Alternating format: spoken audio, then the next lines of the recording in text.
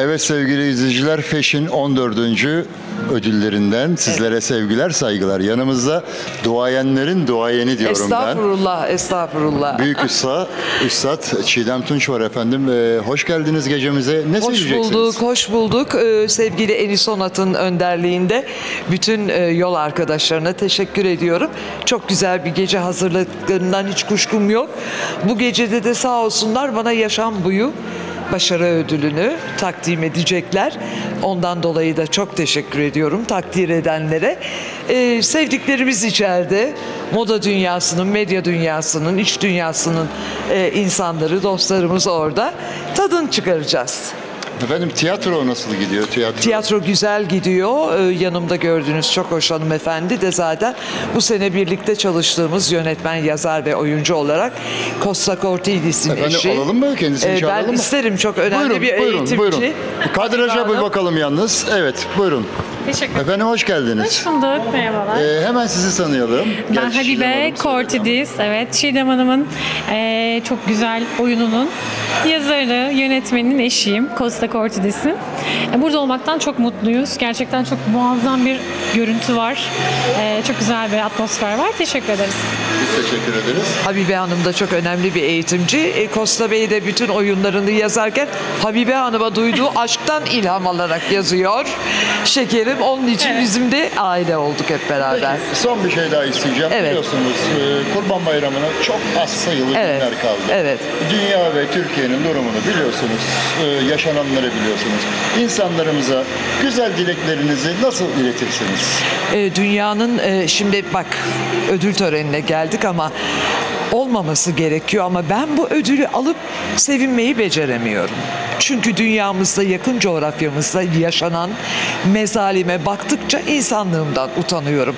Ama biz masum insanlarız. Ürettiğimizde yaşayan, evimize ekmek taşıyan e, normal insanlarız. Bizim terörle, mezalimle, soykırımla hiçbir ilgimiz yok. Ancak sesimizi çıkartıp duyurabiliyoruz. Ötesi de elimizden gelmiyor. Bayram günlerine girerken özellikle Müslüman kardeşlerimizin bulunduğu Filistin'deki mezalimin artık son bulmasını istiyorum. Son bulmasını istiyorum. I want that to be to come to an end. Enough of the Holocaust. Enough. Enough of death, war. Bunun üstüne söyleyecek bir şey yok. Teşekkür ederim. Bayrama inşallah kendi ülkemizde e, özellikle de bayramda kesim yaparlarken lütfen çok dikkatli ve hassas olsunlar. E, ülkemizde yaşanan e, sorun haline getirilen bir e, başıboş köpeklerin toplatılması ve uyutulması meselesi var. Hayır, çözüm bu değildir. Ben her şeye karşı hassasiyet duyan e, sayın devletimizden de bunu rica ediyorum. Lütfen e, biz de gönüllü olalım. Biz de bu konuda yanınızda ve yardımcı olalım. Kısırlaştıralım bu hayvanları. Yaşam alanlarını kontrollü hale getirelim. Ama artık bu coğrafyadan, dünya gezegeninden ölüm enerjisi daha fazla yükselmesin. İnanan insansanız Hakkın, Allah'ın, Rabbin gadrini çekiyoruz. Ben bunlara cennet gibi bir gezegen verdim. Bunlar yaşamasını bilemediler. Birbirlerini öldürdüler. Masumu öldürdüler. Masumları kıyıyorlar derler. Der ve bütün öfke oklarını bize gönderir. Efendim duyuyorsunuz değil mi?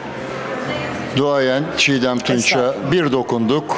Ee, es vermesem sabaha kadar bu konuyla ilgili düşüncelerini ki sabaha kadar da yetmez.